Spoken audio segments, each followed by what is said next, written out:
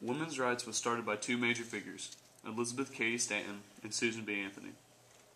Elizabeth Cady Stanton was born on November 12, 1815, in Johnstown, New York. Her parents preferred boys and were upset when they had a girl. Later, she married Henry Brewster Stanton, who was a major slave abolitionist.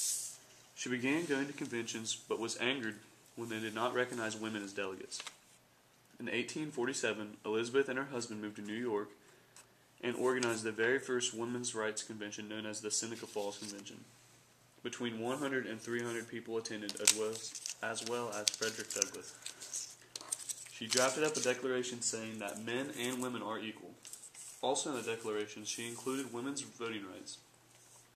Susan B. Anthony was born on February 15, 1820, in Adams, Massachusetts. Both of her parents were strong abolitionists and supporters of the temperance movement. Susan Anthony began her career as a teacher at the age of 15 and would continue till the age of 30.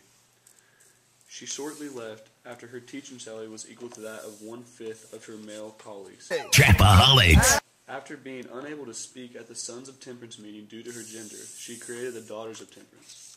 She wrote articles for the Lily, which was the first newspaper owned by a woman. At a temperance meeting in 1851, Susan met Elizabeth Stanton. They became good friends and would work tirelessly toward women's rights.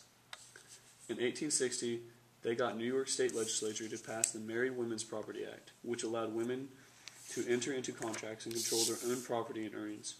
Together, they formed the National Women's Suffrage Association.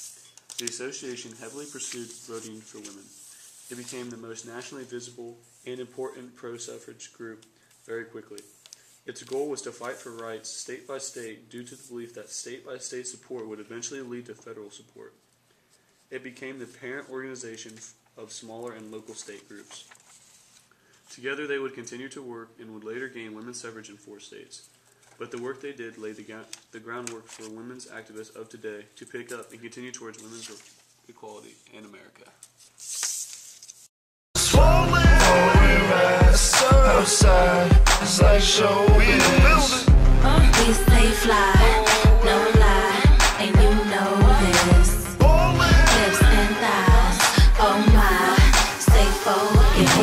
Paper